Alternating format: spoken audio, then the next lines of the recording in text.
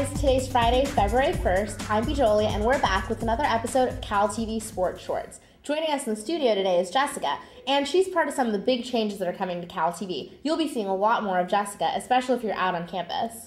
I'll be out on Sproul doing different pieces and probably asking a lot of fans their opinions on the upcoming sports here at Cal. And talking about sports, let's get down to what we do best covering Cal athletics. This weekend, the men's basketball team will be taking a road trip up to Washington to take on both Washington and Washington State.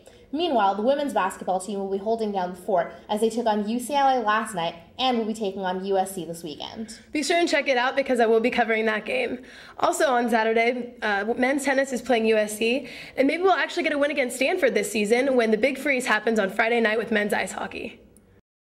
This week's player to watch is junior All American center forward Devanei Hampton of the Cal women's basketball team. She's the reigning Pac 10 player of the year with the third highest scoring average in Cal's history. And she's just 37 points away from scoring her 1,000 point with the team. Literally redefining baller. Definitely.